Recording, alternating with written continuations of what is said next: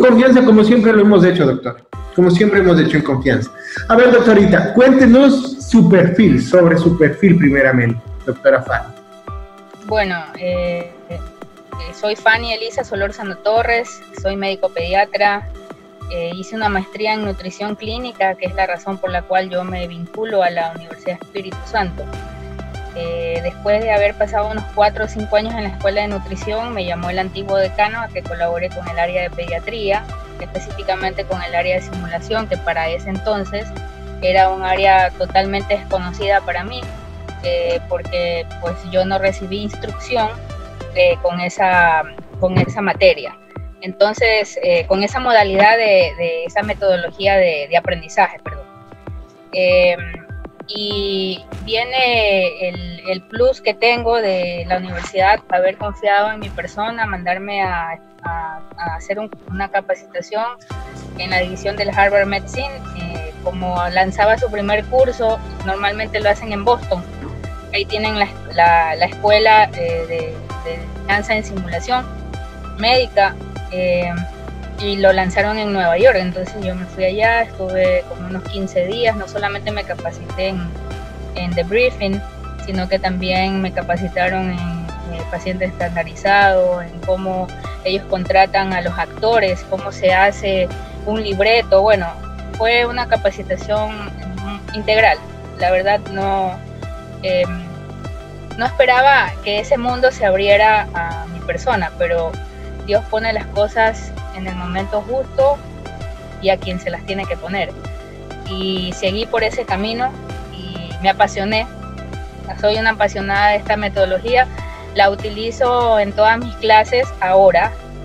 Eh, me parece más dinámico conversar, discutir con los alumnos eh, cosas que hayan entendido mal y entonces ahí salgo yo como tutor eh, para hacer las repreguntas.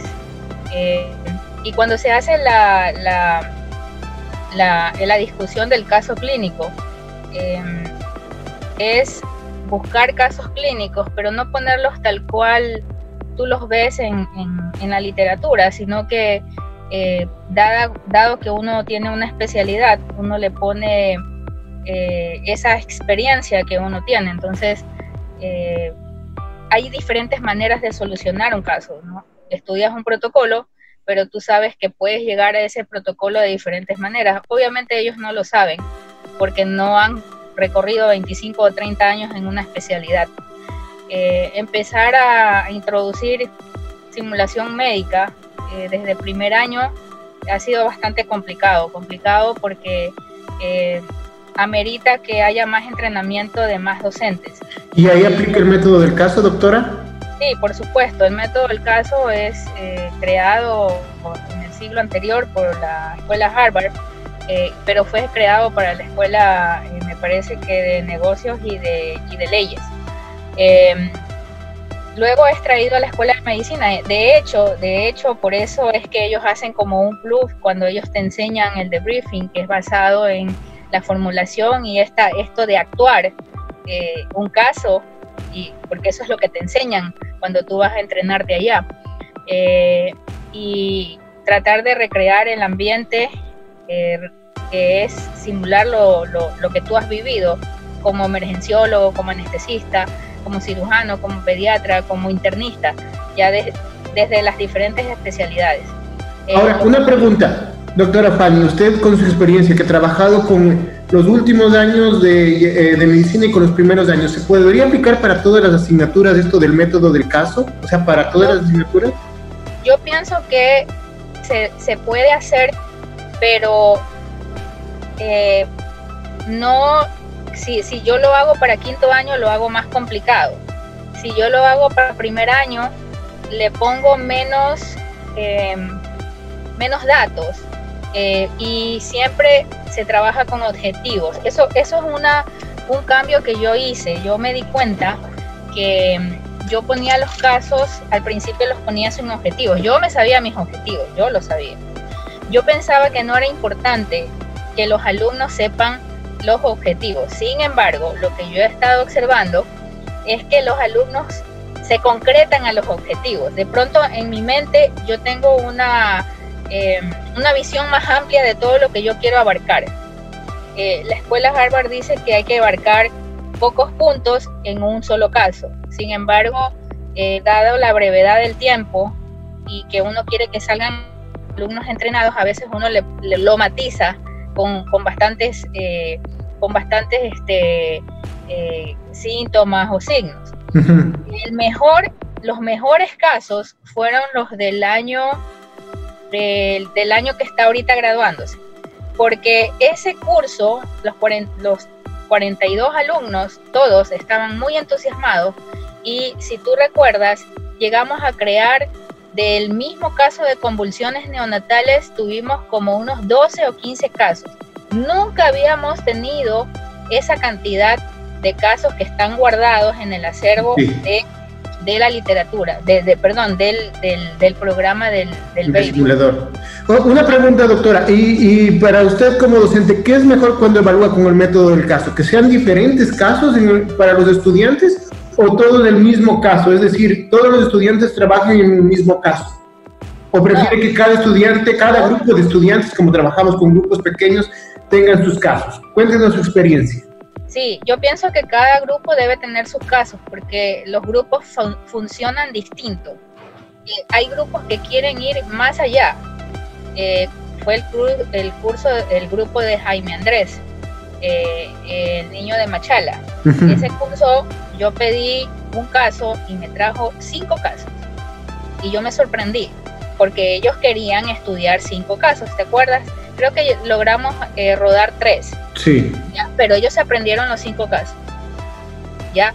Ahora, eh, yo siempre, ellos me traen los casos y ¿qué es lo que yo hago? Yo le cambio, yo hago una disrupción para que ellos no eh, sepan una respuesta de memoria. Y en ese momento yo pongo en juego su capacidad de raciocinio y de decisión, que es lo que llamamos la toma correcta de decisiones, porque no todo puede ser de memoria. Ellos están acostumbrados mucho que las cosas son número 1, 2, 3, 4 y 5.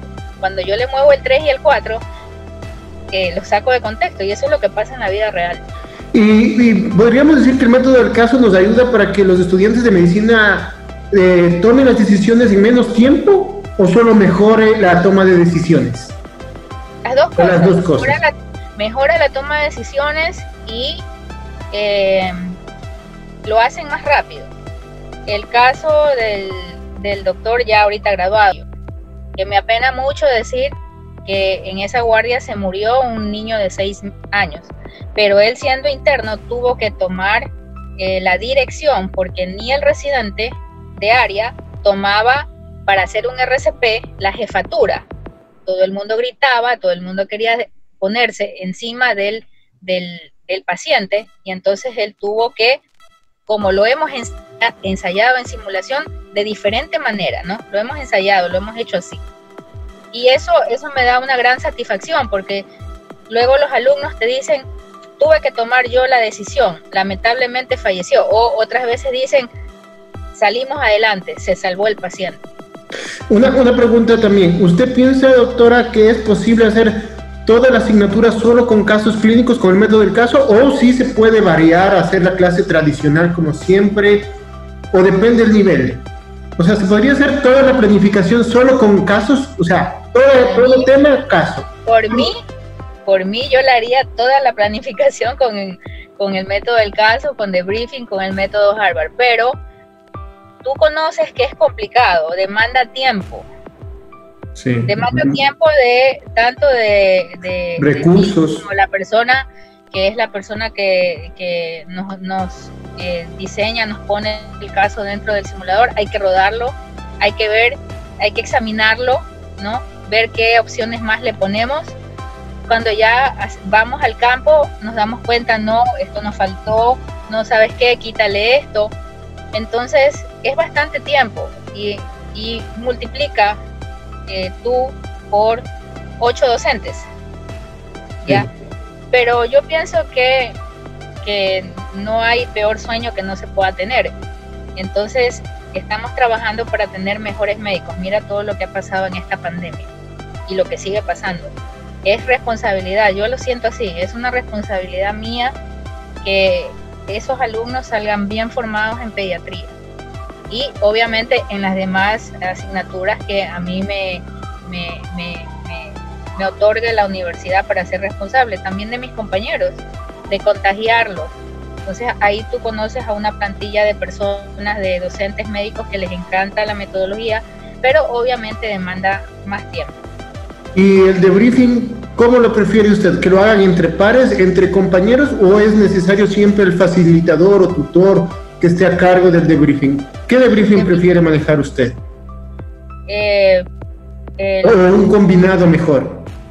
Combinado, porque eh, siempre tiene que haber una persona mayor con experiencia que pueda dirigir la sala, porque si no eh, puede haber malas interpretaciones entre ellos. son todavía jóvenes en formación y ellos todavía algunos tienen cierto grado de inmadurez, entonces para eso está ya la persona hecha, formada, que debe saber repreguntar o que debe saber soslayar cualquier roce que pueda haber entre ellos. Pero el debriefing de la práctica deliberada, por ejemplo, que últimamente lo estaba haciendo, también me parece eh, muy oportuno. Eh, más que nada porque el impacto de que siempre se esté muriendo el paciente y que nunca logren eh, sacarlo estaba teniendo un efecto psicológico como de, que no, lo, no pueden resolver las cosas. Eso es lo que me di cuenta también. Y también eh, considera que es importante la retroalimentación y el debriefing en el método del caso, o sea, que todo docente que haga un caso haga la retroalimentación, o es algo que se sabe o se puede obviar. Bueno, eh, cuando eh, existen ya las preguntas que están predeterminadas, cuando el tiempo juega su papel y estamos ya con el límite del tiempo porque ya está entrando el otro, he hecho ciertas modificaciones. Eh, ellos me traen, ya tengo una plantilla y ellos me traen el, el debriefing eh, de sus sentimientos, de sus emociones. Obviamente eso depende del tema, si el tema lo voy a seguir en la siguiente clase. Cuando es un tema único yo tengo que cerrarlo, porque en la siguiente clase se va a ver otro tema. Pero temas como anafilaxia, que lo tengo en ANA 1 y ANA 2, yo puedo proseguir en la siguiente clase retomando eh, lo que ellos vivieron. Es, un estilo, acuérdate que hay estilos que revisan, yo pude observar los dos estilos, el estilo que hacía el debriefing en el mismo momento y el estilo donde los chicos venían de la semana anterior a mirar el video y eh, conversar sobre lo que había pasado y las malas decisiones o buenas decisiones que habían tomado. ¿Qué piensa en cambio ahora del país? ¿Piensa que en el país eh, las facultades de medicina generalmente trabajan con el método del caso o es algo muy aislado de las universidades? ¿Cuál es su pensamiento de, esta parte de aquí? No, falta mucho, mucha capacitación y mucho entrenamiento. Yo pienso que eh, las universidades eh, privadas y quizás alguna universidad, me parece que es una universidad del norte y que está en Ibarra, que tuvo una capacitación internacional, quizás puedan estar eh, realizando este tipo de metodologías, pero falta todavía. Es, es, más sencillo para un docente bajarse y, y poner un PowerPoint. Es demasiado sencillo hacer eso. Es complicado hacer lo que estamos haciendo, pero yo pienso que es lo mejor. El mejor rédito que tengo es los alumnos graduados que luego tienen un buen expertise o los médicos eh, que son jefes de salas, amigos míos, que me dicen que son muy competentes los alumnos de la UES, que saben hablar rápido, decir rápido y tienen mucha seguridad. Entonces eso hace que tú sigas trabajando en esta metodología. Es ideal entonces aplicar el método del caso y mientras más temprano se comience los chicos como que se entusiasman más entonces a la carrera, a la profesión que ellos, eh, que ellos buscaron, que están buscando ser profesionales. Sí, yo pienso que sí, yo pienso que a algunos les cuesta, vienen de una educación tradicional donde simplemente se sientan a escuchar y eh, discutir o, estar como, como con un nivel de investigación que te pueda hacer eh, conversar con ese especialista en el mismo nivel o que investigó algo que de pronto yo no lo puedo saber todo. Entonces eso es muy gratificante. Es, bonito verles, desde el segundo semestre ya con el estetoscopio, ¿no? Cuando de, generalmente eso ya deberían tener en un cuarto, quinto semestre, pero ya en segundo, primer semestre comenzaría a ocultar algo. Es bonito, ¿no? Es una de las cosas que nos da el método del caso, ¿verdad?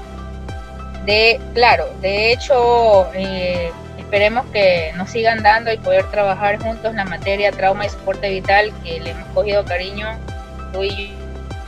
Porque acuérdate que esa clase que era eminentemente teórica es íntegramente práctica.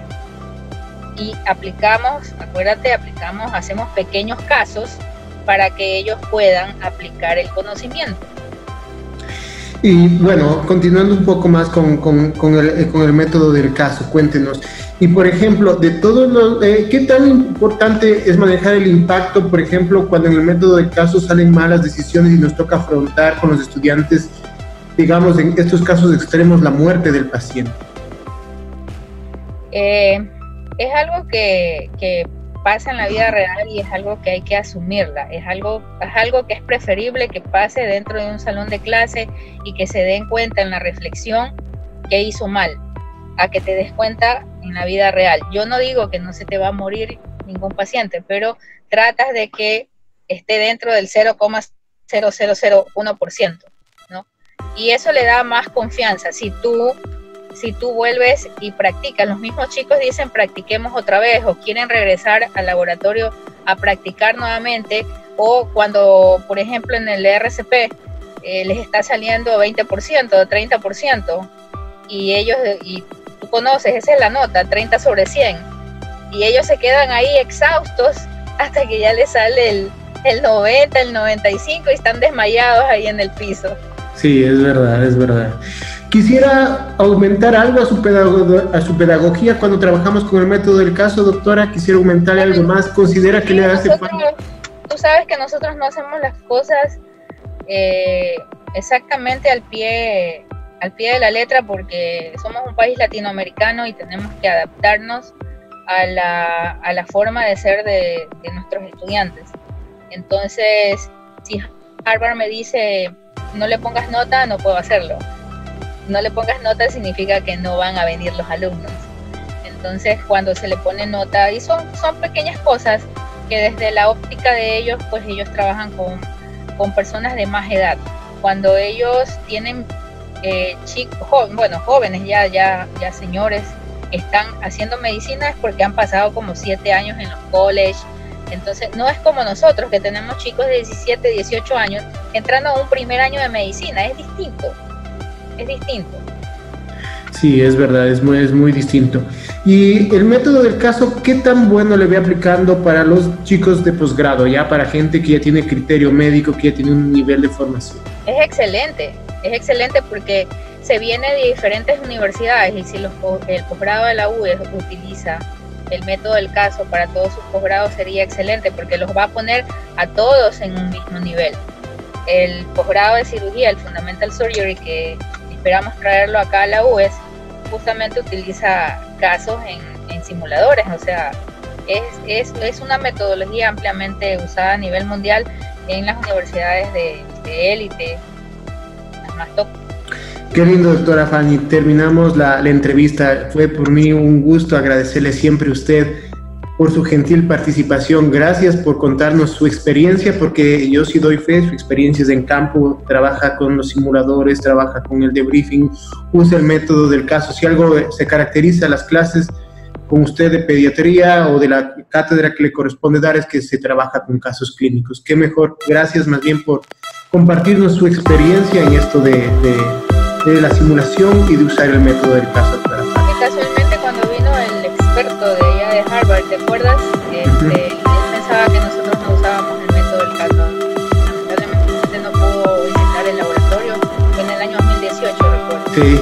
Quedó en que iba a regresar y todavía lo estamos esperando. Bueno, es que la, una pandemia de por medio también claro. complica mucho las cosas. No, muchas gracias, eh, doctora Fanny, por, la, la, la entrevista.